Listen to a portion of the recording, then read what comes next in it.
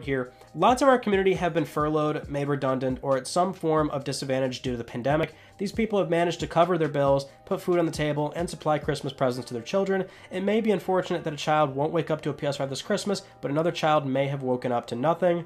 We have no regrets. So I want to include that because well, first off, I can totally sympathize with anybody that's lost their job, whether it's from the pandemic or not. We've all had low points in our financial life. I'm sure we can all um, look back and we know that we've been through some hardships. I totally get that. But, and I've explained that there is an open market here. If you want to stop it, it has to be done at the source, not the people.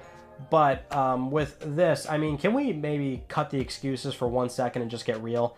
To do this, you need a lot of money, you need a lot of capital if you even buy one of these things, you've probably got some expendable cash that you're willing to risk because this is not a no risk uh, investment opportunity to buy, say, a PlayStation 5 and resell it for what? Maybe twice the price? You're not selling them for 10 times the price, maybe twice the price. And that's a maybe because there's a lot of consoles out there. You might have to accept the best offer on eBay. Um, there's PayPal fees, eBay fees. Um, you run the risk of maybe getting robbed in person if you do this through Facebook Marketplace or Craigslist.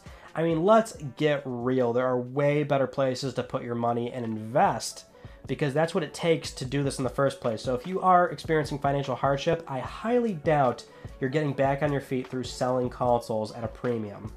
We've all seen the pictures of a person in their basement with like 30 PlayStation 5 systems stacked up and they give you the price of like $1,000 each or something.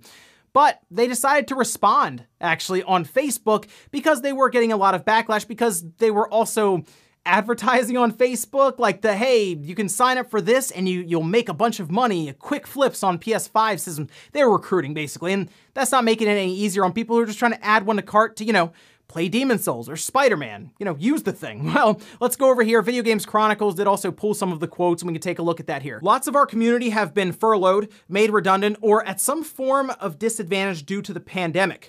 These people have managed to cover their bills, put food on the table, and supply Christmas presents to their children.